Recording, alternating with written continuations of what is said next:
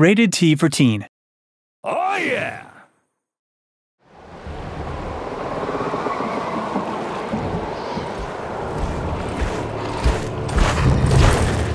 Jonkun